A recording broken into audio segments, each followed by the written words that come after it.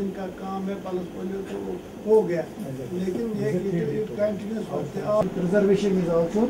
important तो दूसरा ये इसकी वैक्सीन का जो इसकी जो हिफाजत जिस तरह से अगर हमें चार मेंबर हैं किसी जगह कभी कभी एक दूसरे जराए से we have to catch hold of him at the